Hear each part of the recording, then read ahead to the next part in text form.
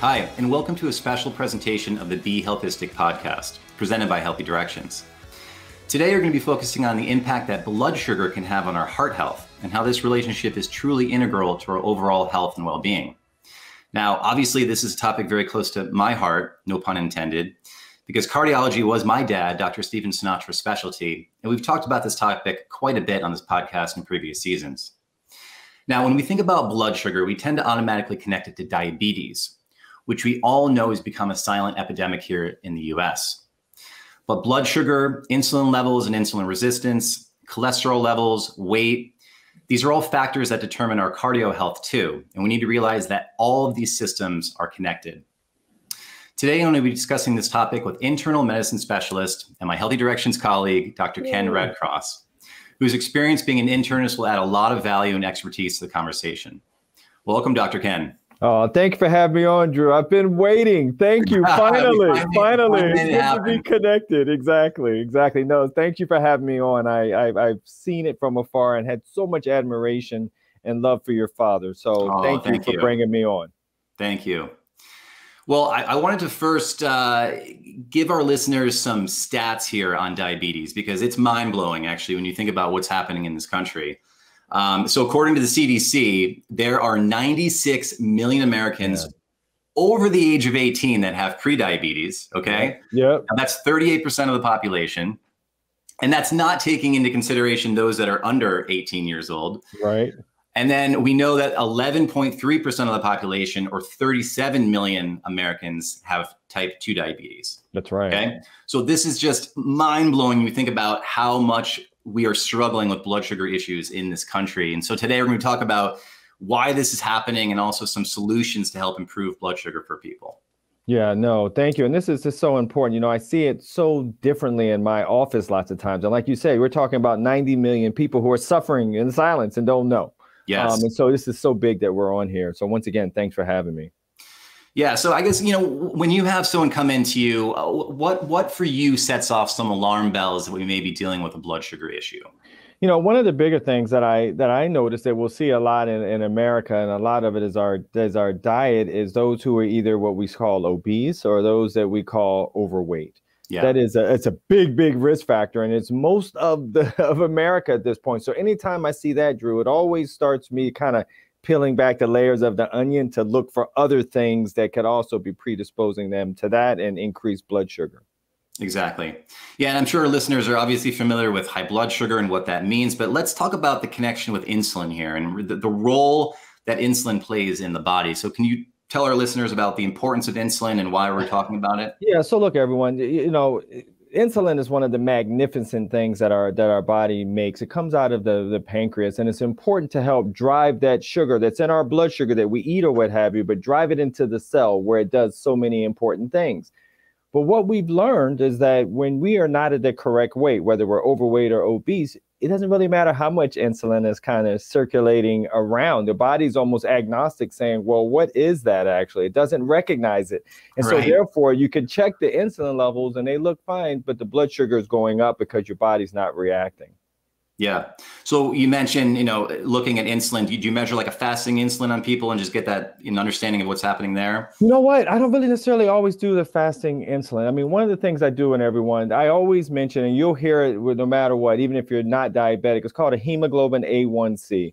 I actually check that, everyone, and that's a measurement of the amount of sugar on a red blood cell over a three month interval. So it kind of allows me to window shop or look in your home and see a little bit of what's happening when you're not in there with me. And if that number is over 5.7 or even equal to 5.7, you Drew, know you're at risk. Um, you're already kind of at glucose intolerance level right there. Yep.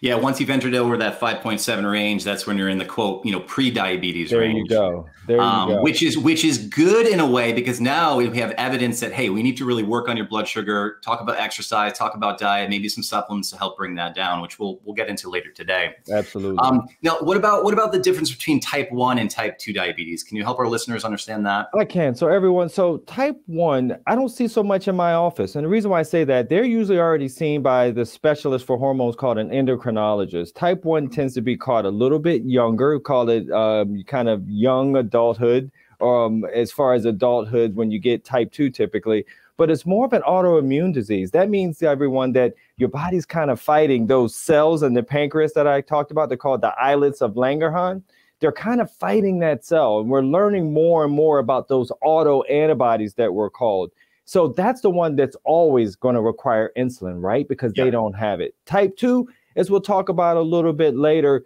um, can be done with some things that we can control. And not always insulin, but sometimes insulin plays a role. Um, so that one and two, you're going to see mainly type 2. And that's the one that we really, really can control and why we're really talking about this today. Exactly. And also too, we should note that, you know, a type 1 diabetic, they don't fit the profile, so to speak, right. as a type 2 diabetic. So you might Great see call. someone that's really thin and say there to yourself, you well, how could they have diabetes? They right. they're really thin, but no, that's just because they're they're lacking insulin and they need to be taking insulin and so it, different situation there. Absolutely, Drew. Thank you for mentioning that, Drew. That that that was that was key to spring in there because it doesn't appear that they're the type diabetic that you see in type 2 but like you said they are so so different in the way they're managed um, yeah. um, and in the etiology or the causes of the diabetes as well yeah exactly all right so so we're painting this picture of diabetes right now and people are thinking to themselves okay one in three americans essentially have an issue with blood sugar let's talk about the reasons for that occurring so right off the bat diet you mentioned it let's talk about the the standard american diet and why that's oh causing such blood sugar issues for people? Oh my gosh. I don't know how much time we have today on the podcast when you talk about our diet. All right. So, you know, the diabetic diet, well, I'm sorry, the um, American diet isn't a great one, everyone. Um, it's one that predisposes us to a, to a lot of fat, a lot of salt, a lot of sugar, all the above. Um, and we talked a little bit about the being overweight, overweight or obese and those sort of things, but you're also getting some other disease states that are really making it worse, right? Hypertension, yes. high cholesterol. All of those get intertwined to really cause some mega issues and challenges that we all get, especially when you look at our diet at our diet in the United States. Yeah, and I mean the symptoms that you just mentioned there, if we add on a couple, we enter into the realm of metabolic syndrome, right? Yes. So we're talking about high blood uh, high blood sugar, yep. high blood pressure, we have the abdominal, you know, obesity there, elevated triglycerides, dyslipidemia, low HDL. Uh, and that's a constellation really of, of signs and symptoms that people have that kind of puts them into that category of metabolic syndrome. No, absolutely. And Drew, I'm glad you mentioned that when you talk about the um, the obesity and the abdomen, everyone. You know, we always talk about this BMI sort of story. Yes. Everyone's like, oh, my BMI is here, my BMI high. Look, the research starting to show it's really more about the waist circumference. We're seeing that it's the waist ratio that may be even more important than BMI, which can actually um, be different for certain ethnicities and certain groups and that yes. sort of thing. So that waist circumference that you're mentioning, and that's a big thing to kind of keep in mind as well. Exactly. You know, and, and two, we talked about diet briefly here in terms of just how poor it is in, in the United States. And I'm going to yeah. give an example really quickly of how I went to Greece recently and, and, and oh. really got a different perspective on how they're oh. eating differently than we are. Oh, absolutely. But I want to point this out to people because this is super important is that the, the food companies are unfortunately in control of us. Right? It's, it's a reality. When you go to the supermarket, there's all this advertising on the boxes that kind of lure you in. I mean, I know my kids when I'm walking down the aisle, they're saying, "Hey, could we get that?" Because there's a cartoon figure on it. I mean, yeah. there's programming that's happening from a young age, and also too, there's ingredients in this food, particularly like sugar, yeah. that we get hooked on, that we get addicted to. And so, you know, it's it's not our fault per se that we're having elevated blood sugar issues these days. I, I tend to blame a lot of it on the food industry because there's no regulation around it. You can go out and buy sugar all you want and start eating it and no one's going to tell you that it's bad for you really right? Yeah yeah um, yeah. and unfortunately we're just we're just fueled by our addictions and and it's it's like i'm, I'm just getting more fed up as time yes. goes on with our food industry because nothing's being done about it. And you can just do whatever you want and buy whatever sugary food high refined carbohydrate food you want eat it and it's not good for you. No, you're right, and and you know it's it's interesting because you know it's really like you say it's it's a wild wild west. Yeah. I mean, imagine everyone when we we've talked about this at the at the top of our of our segment about how much how many people we have running around with blood sugar and don't even know it. Imagine if instead everyone we now put labels to kind of earmark some of those foods you're talking about, Drew, to say, hey guys, you can enjoy this, but this may cause metabolic syndrome. Enjoy. Yes. No, it wouldn't be taken. And so, if we really decided, and as a society decided, we wanted everyone really healthy, and we know the things that are good for us, and you're mentioning in Greece and the Mediterranean diet, that's something else we can chat about as mm-hmm. well. But the importance there, imagine if we did that with each one of those food products, yes. how our longevity would increase, how our health would improve. So you're right. It's kind of a it's kind of a big kind of game. And so luckily mm-hmm. podcasts like yours, Drew, bring this to light so that everyone can say, you know, I you know, they have a point there. Yeah, exactly. So here's my experience from Greece, and I think you traveled to Europe too this summer. So maybe we'll compare our experiences. There we go. Uh, but when I was in Greece, you know, it, you might have a croissant, okay? Just like people might have a croissant here. Now, the croissant is not sugary. It's just it's a savory uh, pastry, okay? Right. And with that croissant, they may give you some sliced cheese or some sliced meat that might, you know, balance out a little added fat, protein, right? Yeah. Help reduce that insulin response that your body's going to have. Um, and, and, they might have, you know, some some yogurt with some fruit.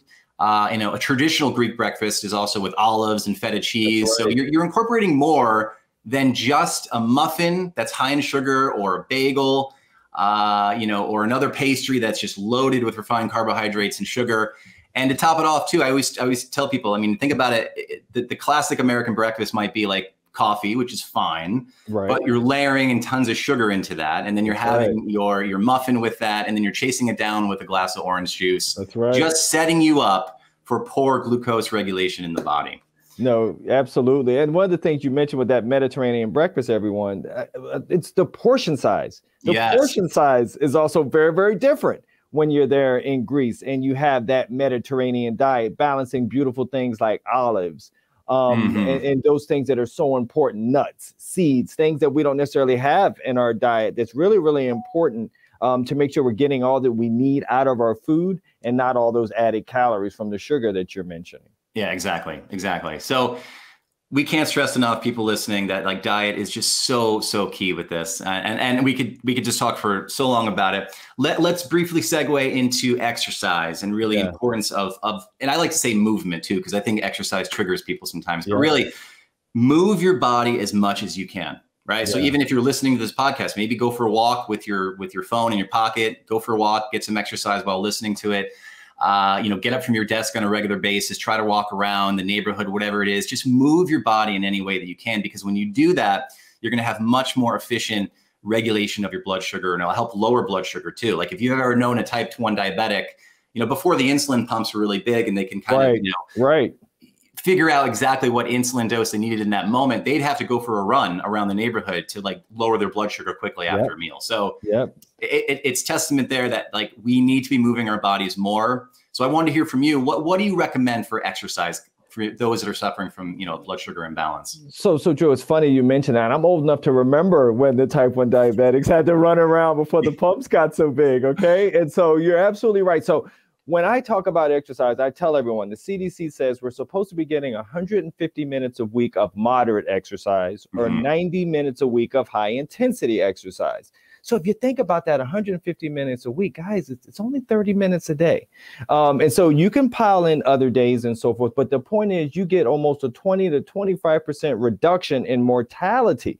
You're here on this earth 20% longer, everyone, in essence, yeah. when you're getting the right amount of exercise. And so when everyone thinks of exercise, they always think about the heart, which we should. But we're talking about blood sugar. And what happens is, guess what? Not only does your heart get the benefit, but when those muscles are moving, guess what they need, everyone? It needs glucose, yes. it needs sugar. So therefore, it drives in there to make sure that you can walk. And also, I should say, too, the other studies have shown now, I am a big fitness enthusiast, cycler, CrossFitter. But the study showed maybe I'm the crazy one because you can get the same benefits from a brisk walk right. after dinner almost depending on you know your your speed and that sort of thing and that's one of the big things with you being out in greece and talking about the mediterranean diet they looked at the studies drew and they saw that one of the big things they did not only did they eat better than us but they usually walk after dinner yes and that may be a reason why their blood sugars are not like ours and their incidence of diabetes isn't like ours so when you talk about, and I'm glad you use the word movement because I say that too, because exercise is different for each one of us, yeah. right? Yeah. Um, but the point is, is to move that body for that amount of time that I mentioned to really get the benefits. And I always mention too to people, even mentioning the word gym it can be triggering, right? Like, I don't want to go to the gym. I don't like the yeah, gym. Right. So, right. you know, find something that you enjoy doing. Maybe it's swimming, maybe it's hiking, maybe it's cycling, like what you're doing, or CrossFit. But right. you know, something that you enjoy doing. Because if you're not enjoying what you're doing for movement exercise, the reality is you're not going to do it. It's not going to last. It's not, not going to last. And the good thing is, like I said, I'm very serious. Everyone, they showed that walking the right pace in the right amount of time just as equal to, to me being crazy, lifting weights left and right, racing, um, to get the exact same benefit for your blood sugar and for yeah. your cardiovascular health. So that's something for those who, like you, don't want to see that gym. There's other ways you can do it at home. Yeah, exactly. Now, for people that want more uh, objective evidence uh, of their blood sugar and where they're going with it, obviously, you know, you can get your labs done. We can do the the fasting glucose. We can do the hemoglobin A1C. You know, maybe a fasting insulin if we want to kind of check in on that yeah, parameter. That's right. What's your thought on the continuous glucose monitors and how people that don't have pre-diabetes or diabetes should they be using one? Oh gosh, that's a great question. Look it, it's a tough one, Drew, because you know we're talking about 90 million people out there. Yeah. Um, and we're talking about people who really that we know need it, as far as type two diabetics who really could get a benefit. So look, I, I like to err on the side of caution. So I, mm. I, I would love for them to monitor that. Along with that, Drew, a lot of what we're doing on, on your podcast today, educating around it too. Yeah. Um, and it allows me to educate when they have that kind of glucose monitor, even if it's a little bit of overkill, it seems. Look at the lives we save um, when we educate like this, and they're able to say, you know, doc, we have a, a conversation now about your blood sugar, and now becomes top of mind. Yes. Um, so I kind of like it. Um, but once again, I, I, realize it may be a little over the top, but I'd rather be over the top in this. Yeah. yeah. Talk about blood sugar. well, it's funny because I, I, definitely recommend them when people do have pre-diabetes to kind of yeah. gain that understanding of like, oh, you know what? I just had this glass of orange juice, or I just had this uh, this glass of uh, my latte, my oat milk, right? Mm-hmm. And to see the, the the glucose spike that happens from that, I think it just helps build awareness around the foods that you're eating, the drinks you're consuming and how that's influencing your blood sugar, including exercise too. You can see it drop after you've done a run or something, right? Absolutely, absolutely. Um, but but you're right. I mean, it's it's tough because I think insurance doesn't cover a lot of these continuous glucose monitors, and so you know you send in the prescription, and then you got to do a prior authorization, and that's you know a lot of work. So it, I'm with you that I, I wish that we could be, I guess recommending this more to those that don't yeah. have diabetes. But right. The, the, reality is not everyone can get access to one. And secondly, they're very they can be expensive if insurance isn't covering them. Yeah, they can. And I try to think about diabetic educators and places, a lot of um, um, health departments and that sort of thing. They have programs. So, yes, everyone, eh, unfortunately, it isn't covered by most insurances. With what we're talking about with the diabetes epidemic, there's a good shot with one in three people that you're going to have a family member or someone who may be already dealing with blood sugar issues too. Exactly. Um, so you know something to, to little bit think about a little bit, but you know, hopefully, you know, the awareness will, will be will really be helpful to to make that available to a little bit of everyone. But unfortunately, you're right, Drew. It isn't. Yeah. Okay. Okay. So I want to quickly get into supplements, but before we do, I wanted to mention um, AMPK. Yeah. And I, I, know that you're very familiar with this, so I wanted you to sort of explain what, what this is and, and why are we talking about AMK, AMPK and how it relates to blood sugar. Oh gosh, everyone. So you know, eh, eh, I, am a, I'm a big. So I am a, a, practicing internist, as you mentioned, but I love cell biology, Drew. So when you think about AMPK, everyone, AMPK is a kinase. It's an enzyme. You all remember enzymes in science. It makes reactions happen. The reason why AMPK is so pivotal is because it does two important things when we talk about berberine, everyone. It helps to support the blood sugar, but it helps to do it in different ways. It helps to express the insulin receptor better so that it's more effective. Mm-hmm. Um, it also helps to express LDL receptors for cholesterol to make sure that cholesterol is getting out of our blood, making sure that cholesterol is not being absorbed, making sure the cholesterol is being excreted. So, this particular uh, kinase or enzyme yeah. does things that not only are important for our blood sugar to also help postprandial blood sugar. That means everyone after we eat, we all get this spike, but berberine helps to quell that as well, yes. which is what we want. Um, so when you talk about this one enzyme or kinase, what have you, it is so so important for blood sugar support and cholesterol support. And yeah. it's important to understand this science so that when you start to see, um, when you start to take this, you can see what am I supposed to look for? With right. this how this is doing for me and for my body Right, right, and and the, the AMPK, if I if I'm understanding this correctly, it, it tends to get activated when ATP levels or energy levels drop in the body. Is that correct? That is absolutely correct. In fact, the AMPK, everyone, is adenosine monophosphate. That's one. ATP for exercise, everyone. There's yeah. three phosphates. So you're absolutely right, Drew. That's how it gets activated. Okay, and you mentioned berberine as being one compound which can help, uh, you know, increase levels of, of AMPK. Uh, also, we should mention two basic things before we go into more supplements, and that is exercise and caloric restriction and yeah. fasting. Right? Yeah. Those those are all tied in with helping True. activate AMPK as well. Absolutely. Uh, which go hand in hand with what we're talking about here, right? It's like no, it exercise and, and fasting when needed. No, it does, Drew. And I'm glad you mentioned the fasting piece and the, some of the other things that didn't necessarily require only supplementation, because doing some of the things we're talking about in addition to supplementation only heightens the benefit. Exactly. Um, so I'm glad you mentioned that because fasting's become so important. And so many of my patients love talking about that also. Yeah, and actually, uh, while we're on the fasting topic, I mean, uh, it's so funny because you can get into that that rabbit hole of fasting and think to yourself, well, fasting's only good for me, right? But the, the more I research it, sometimes I'm, I'm coming across literature that's suggesting that fasting may not be good you know, to do like on a regular basis. Let's say you're right. doing intermittent fasting every right. single day. Right. What is your thought on on that of, of like, you know, quote, skipping breakfast and then eating your lunch and then having your dinner and then fasting through the night? What's what's your thought on that? No, Drew, you hit the nail right on the head. So it's one of these things, everyone, that you know, something that's good for you like this. It doesn't, you don't have to take it to this extreme sort of level. So when I talk about fasting, one of the things I always mention, look, breakfast is the biggest important part of our day, everyone. I mean, yeah. you've been asleep for eight hours, your body's working, your brain needs glucose, everything is working you got to feed your body. You got to give it the energy that it lost overnight. Now, one of the things I talk about with fasting, kind of like you said, Drew, is that I tell them to give me four or five days a week. I don't even like mm-hmm. to block them in because I, I, like to number one with the fasting. It also depends on a bunch of other things. Are you a big exerciser? Are you under a lot of S word? That's that stressed you. I never say the word. Are you under a lot of S word and that sort of thing? So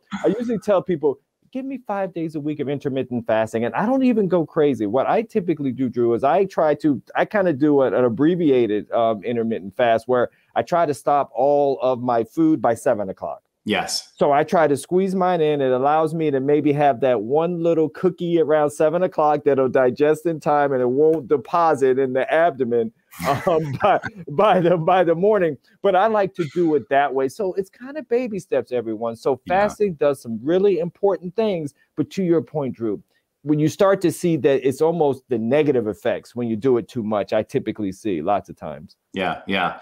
And you said you said one cookie, not a package of cookies. There you go. And I mean it too. You know, I look at the labels, everyone. And so, you know, I have this thing. I, I shit it. I'm going to reveal this only because we're all family. So I like these little chessmen cookies. Um, and I like because I'm a big tea guy. Like you said, I just came back from Europe. So I was in the perfect place for a tea cookie.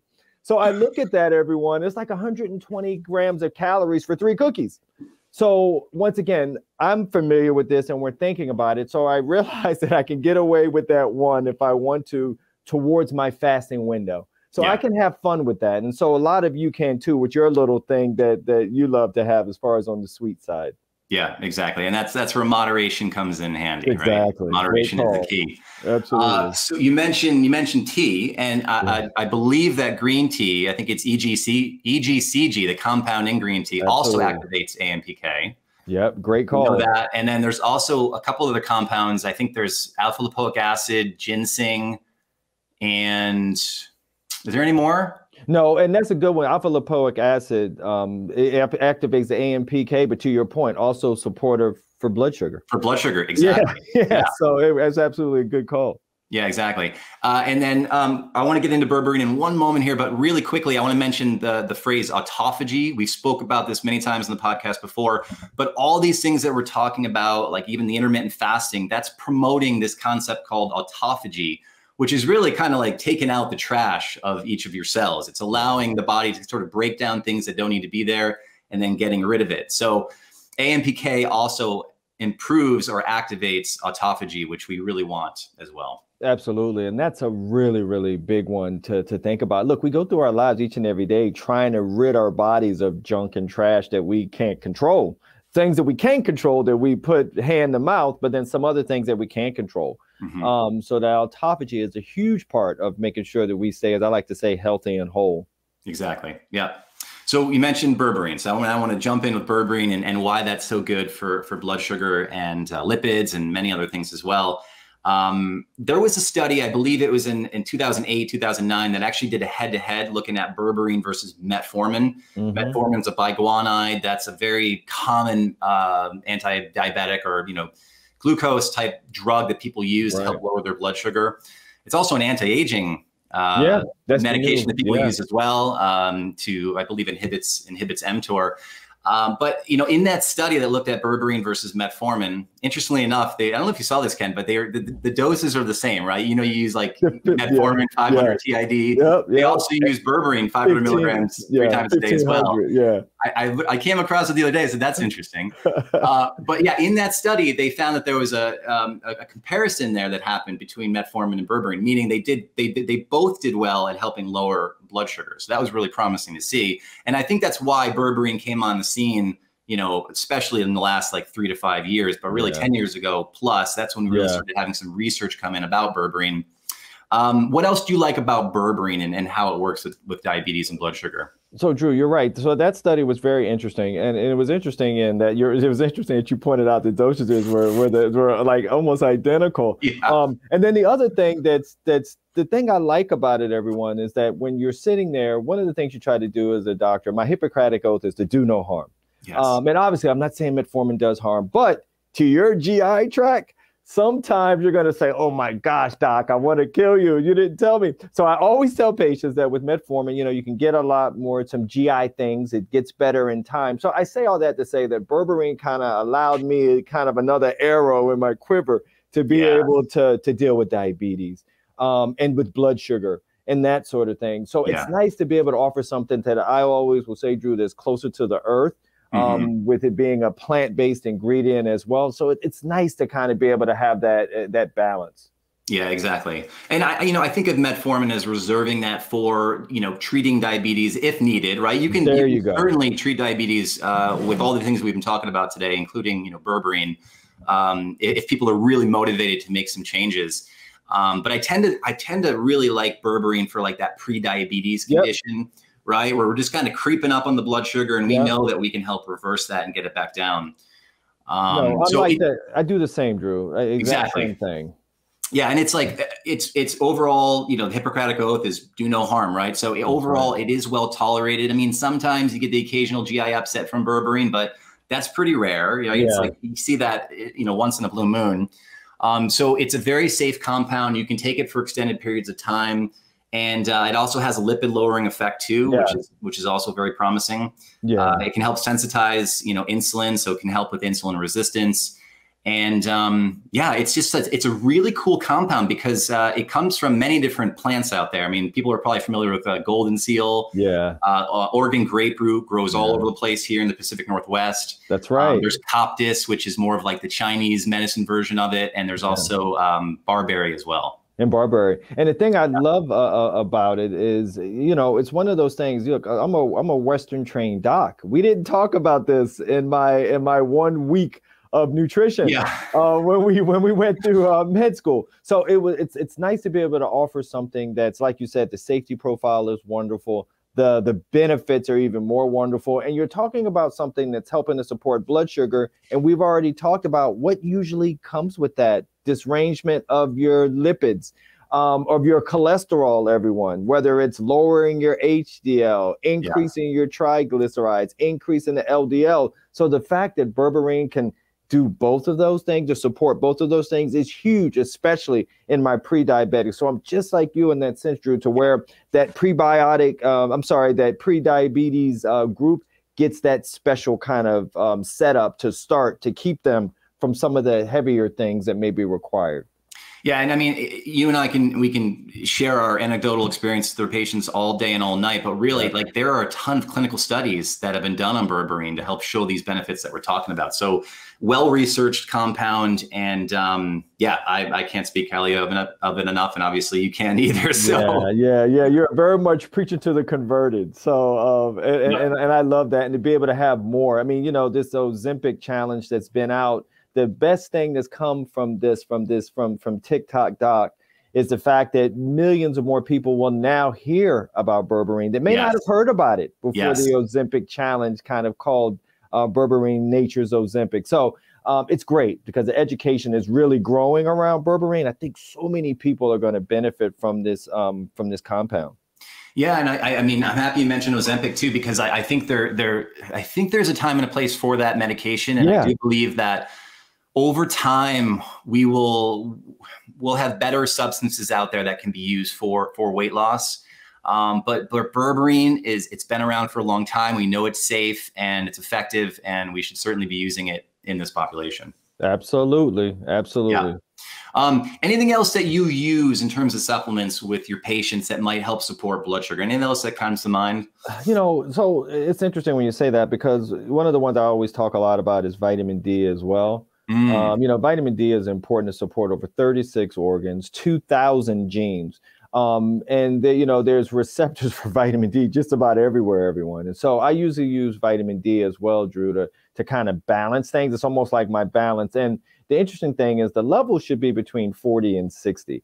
When yeah. we look at the levels, when you go to your doctors or even to a doctor Western trained like myself, you look at the parameters and it says 30 is normal. And that's that's only for bone health, everyone. That was for back in the day with rickets and that sort of thing. It's different now. So that 40 to 60 tends to be that sweet spot um, where you get the bigger benefits with with vitamin D. So I always make sure that my patients, especially with blood sugar issues, um, and, and, actually, honestly, with hypertension and cholesterol, which can go along with that with the metabolic syndrome, yeah. that the vitamin D levels are where they need to be, along with the omega three, um, which is also important for for lipids.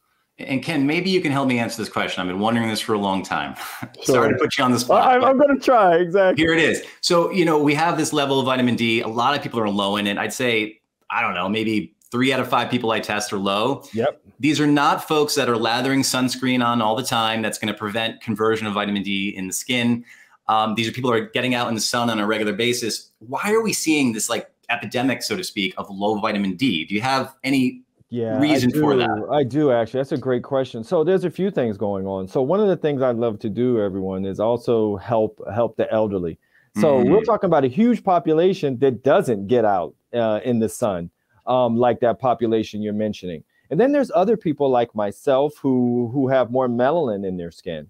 Um, whether mm-hmm. they're whether they're African American or Latino or whichever. The point is the melanin blocks the sun's rays. So you'll find right. there's a the number one lowest group in vitamin D levels are African Americans, followed by um, Latin Americans or mm-hmm. Hispanics mm-hmm. second. So it's a little bit of that as well. Um, the other thing we're realizing is that we really don't have that much natural vitamin D in our diets. Yeah. One of the things we used to do back in the day, everywhere, I guess, it, you know, from the from the South, I mean, they'd always give you a, a teaspoon of, of um, cod liver oil the reason why oh, they yeah. did that, right? It was you, you remember those days, and so it's about that that fatty omega three, but it's about vitamin D, natural vitamin D. So when you look around, there's not a lot of foods that are really naturally in vitamin D. People will say, "Oh, well, I take milk every day." Guess what? It's fortified. Doesn't yep. come naturally, guys. It's added. Um, so you look at your diet, you look at the elderly, you look at minorities who are big, you know, a big part of that, and then you look at those who do go out which is that balancing act, right? You go out, you're fair skinned, you want to wear sunblock because you don't want to get any basal cell carcinomas and that sort of thing, yeah. but then it blocks the rays. So we're seeing and learning more about, gosh, you know, we don't have a lot in our diet, and we have some people who are kind of set up to have low vitamin D. So that's part of the issue. So hopefully, was able to answer a couple of things. Ken, you nailed it, man. That was great. That was great. Um, well, look, as as we wrap up here, I just wanted to leave our listeners with um, um, hope in the sense that if you yeah. if you are suffering with a blood sugar issue, if you've got prediabetes, even full blown type two diabetes, uh, yep. uh, there's so much that you can do oh. to help improve you know glucose levels and really like you've seen this Ken right? I mean you've seen hemoglobin A1Cs in the sevens, high oh, sixes. Yeah. Oh. They come back down in normal range. Oh yeah. You know over over a 12 month period. It's possible, everyone. You can totally do this, right? And like, there's so many different things that you can use to get your blood sugar down, but it is super important and uh, so many ways to kind of approach this. And I just want you to know that you know it can be done. It's possible. Absolutely. And one of the things I always love to say, especially when you deal with blood sugar, because everything is a lot of doom and gloom, I always say it's not your fault. Yes. It's not your fate. Um, and it's important to really, really feel that mantra because it's true. Um, we have so many things that we can do to really change your life. Um, and and and hopefully from even listening to us to do today too, Drew, we just we just changed so many lives today. And so, you know, I'm happy you mentioned that. Exactly. Yeah. So thank you everyone for joining us. We had an awesome discussion today. I can't wait to have you on again, Ken. Thank you. thank you so much for having me on, Drew. And uh, everyone have a great day, and uh, we'll see you next time. Be well. Thanks for listening to this special presentation of Be Healthistic, presented by Healthy Directions. If you enjoyed this episode, don't forget to like, comment, and share wherever you listen or watch. To subscribe to our podcast or to listen to past episodes, visit our website at BeHealthisticPodcast.com. See you next time.